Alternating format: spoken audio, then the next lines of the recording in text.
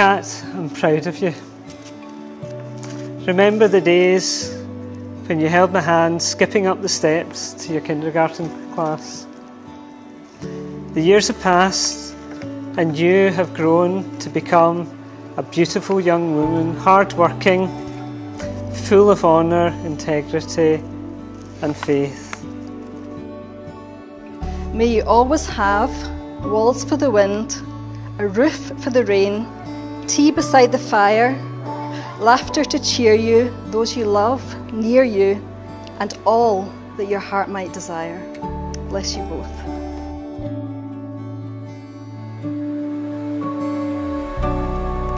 As you and Peter bring up, build a home together, may your foundation be upon God. May the sun shine upon you, bringing blessing upon your days. May your home be as safe as a castle, where you know you're valued, understood, and protected. Where love, faithfulness, kindness, gentleness, and hope are in the air that you breathe. May God bless you both this day and always.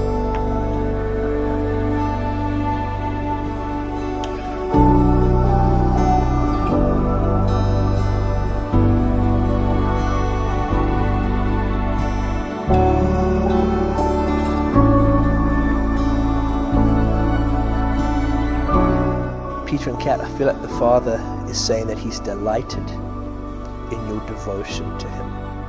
I believe He's saying that there's a powerful love between you two because you have kept the love of Jesus at the center of your relationship. That's something that cannot be faked, it cannot be given, it cannot be taken away when you keep Jesus' love at the center.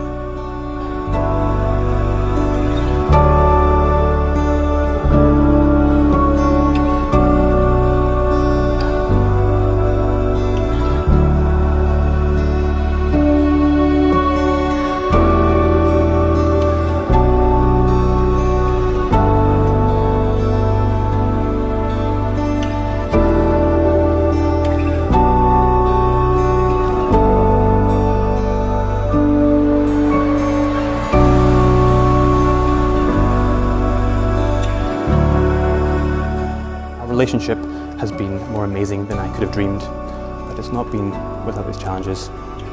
Just four months after we started dating, Kat went on her year abroad and we spent a considerable amount of time long distance. And then uh, a year after we'd been reunited, uh, COVID hit and we had to social distance from each other. Uh, we spent our date nights in my freezing cold garage and Kat's front porch. Yeah. To the extent that one of the taglines for our relationship has been absence makes the heart grow fonder.